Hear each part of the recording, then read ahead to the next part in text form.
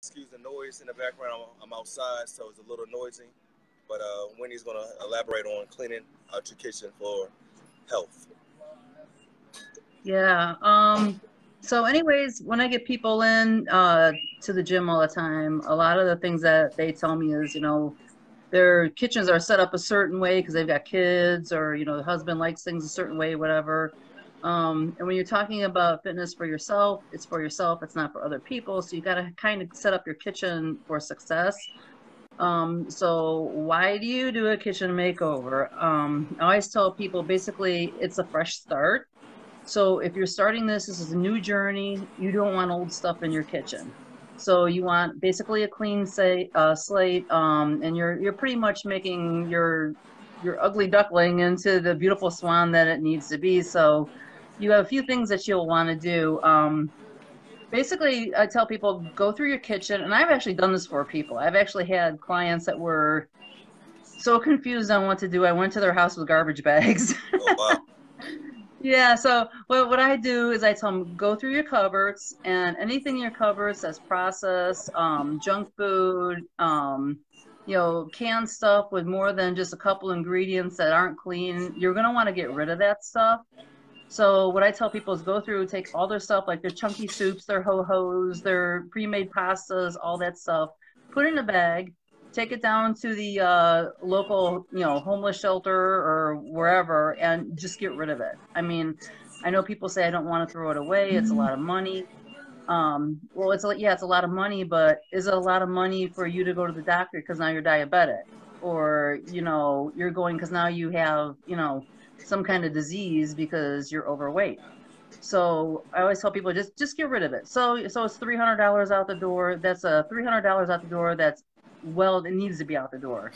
Um, so basically, I mean, really, if it's in your kitchen, sooner or later you're going to eat it, right? Yeah, I right, mean, right. So you might, you you might say, you know, it's a ho ho, you know, I'm not to eat it, you know, and your kid's to piss you off one day, and you're to go in there and you're to eat damn ho ho. So get rid of the ho hos. Um, anyways, uh, you're, you're people sit there and like I said, they say they, they hate wasting food. They bought it, it was on special. My kids eat it. Great, your kids eat it. Uh, what I used to do when my daughter was younger and she didn't eat a lot of junk food anyways, but the stuff that she had that I didn't want to get hold of, she had her own little cupboard and it was down by her where she could reach it. I never saw it. I was like, put your stuff in there.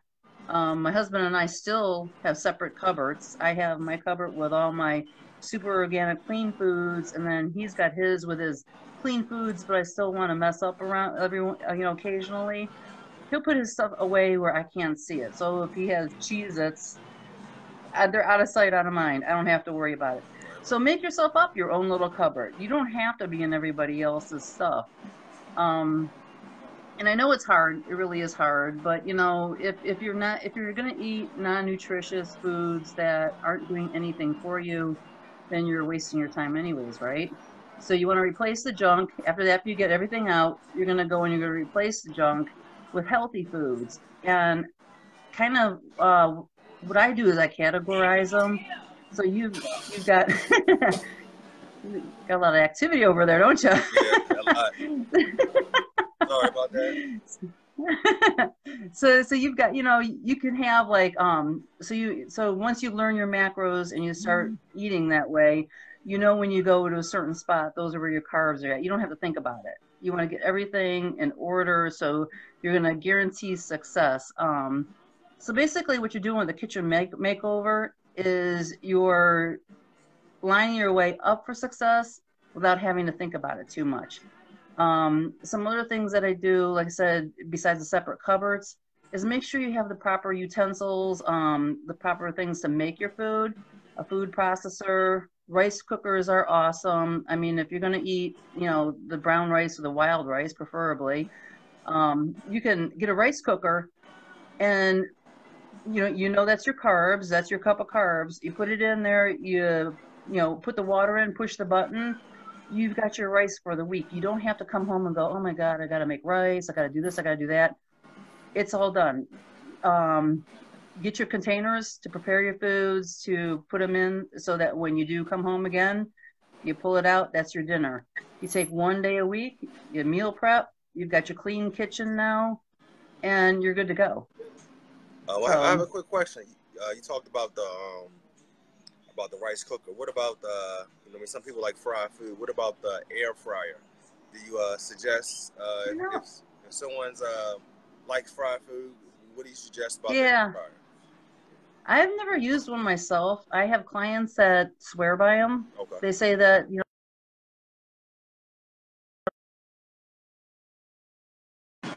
You know, if that's what you like, I don't, you know, I'm not into fried foods, so Okay. Okay. But I mean, as far as healthy wise, they're a lot healthier than frying stuff. That's for sure. Okay. Okay. Just just wanted to ask that question. I have an air fryer at home. I, I tend to use it sometimes. So yeah, yeah. It's a. I mean, th- there's a lot of tricks to things that you could do, but those are the basic. I mean, the the basic thing you want to do is get the junk out of the house. yeah. Get it out of the house, and then I mean, you still have to deal with the husband wants this, the kids want that. You know, I have to cook for them. You know, I used to cook three separate meals when my when my daughter was little. My husband wanted one thing. I was a vegetarian. He wanted a steak, and my daughter had allergies. I cooked three separate meals. Oh wow. I mean, yeah, and I worked two jobs, so I, you know, you busy. people say, "Oh, yeah," people say, "Oh, I'm too busy." I'm like, "Yeah, I don't want to hear it." so, I mean, either you want it or you don't. You're but- right. You're right. If you uh, Preparing want it, your make kitchen it for success. you it, Yeah, yeah. But you know, getting your kitchen ready for success, you know, that's right there is huge. I mean, if you walk into your kitchen the first day, and I always tell people when I give them my plan that um, don't even start it until they've talked to me. They go through the rules and they have everything. I mean, everything down to the seasonings ready to go. Because if you're not ready, you're going to screw up on day one. So going through your kitchen and get getting rid of everything. I mean, literally, if a if a quarter a bag of chips is in your kitchen, and you're on day four, uh, you know how it is. Day four, you're going, oh my god, if I could just make it one more day, I know I got this. And that bag of chips is staring you in the face, and you know what? You're gonna eat the chips. Yeah. Now you screwed up. Now you gotta start all over. So, Yeah, you are. You are. Um, I have another question. yeah. Um, as you're as you're cleaning out your kitchen, you're getting more foods. Uh, what do you suggest? More organic food? Well, you know, organic's always best. Um, what they say about the rule of organic is if it's like a meat, you know, you want to, you know, protein, you want to get organic. Um, with fruits and vegetables, if it's something like a banana where you're going to peel Okay. the, the wrapper off of it, an orange peel, unless you're going to use like the orange zest. But if you're not going to eat the rind or the peel or whatever, and you're just going to the inside, then or, you really don't have to go organic. But if it's something like a green pepper or lettuce where you're actually eating where they've been spraying, Yes. then you want to go organic. Okay. Yeah. Yeah. And as far as the meat, fruits. yeah, meat's definitely organic and fish, um, wild caught, not farm raised. Okay. So, yeah, farm raised, they've put a lot of pesticides, chemicals. Some of those fish are even, you know, raised in human feces. So it's disgusting. yeah. And it's hard to find. I mean, you every every piece of fish you pick up is going to be Thailand, Vietnam. You don't you don't know where that's coming from, so I just don't even bother buying it. Yeah. Salmon, salmon from Canada. That's about it. so, and you got to watch a tuna fish because they put soy in it now. Oh, I Did didn't you know that? Yeah, no, I didn't know that. Yeah, you got got to watch your labels. They started doing that, I think, about two, three years ago. I noticed that, you know, it should be tuna fish and water, maybe some salt. At soy, unless you're buying a can of tuna fish that's cost like two, two fifty. Yes. The stuff that's 89, 99 cents has soy in it. Okay. And, you know, if you got to stay away from soy, like people that have breast cancer, you know, any kind of hormonal issue, you know, it could create a problem. Yeah, yeah, it could, it could. So, yeah, All right. read um, your label. got to. you have to. Um, I don't say. Do you have any questions? Don't have too many people on right now. So if you're watching the replay, leave your questions in the comments. Um, Wendy or I will come back and um, answer your questions. Do you have uh, anything else to add, Miss Wendy? Uh, yeah, yeah. Actually, hey guys, um, and you know, I know Will's not going to tell you this, but he's working on a website now, and he's going to have his awesome, awesome, awesome nutrition plan up there for you guys soon. So, you know, watch out for that. I know, I know, it's pretty good. Yeah, yeah. Um, I'm working on it, so hopefully I'll have it up beginning of next week. Uh, you guys can check it out. Um, I'll be putting the link up and stuff like that later on. Um, also, Wendy, if you want to plug your stuff in. Yeah, I'll do it on mine. Let's work on yours first. Okay. Yeah. Hey guys, Will Will's awesome. He'll get you in shape with no problem. He can do it online or in the studio, whatever. You know, you don't you don't have to be in the same state with him to to get it done, or with me. You know, we work. Uh, you know, it's all international online nowadays. Yes.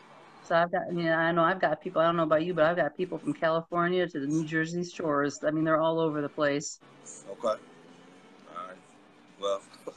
Well, thank you. Thank you for the kind words. I appreciate it. I appreciate it. Um, it's the truth, you know?